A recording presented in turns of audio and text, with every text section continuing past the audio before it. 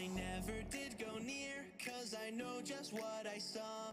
Yet on that day of joy, my life ended to their flaw.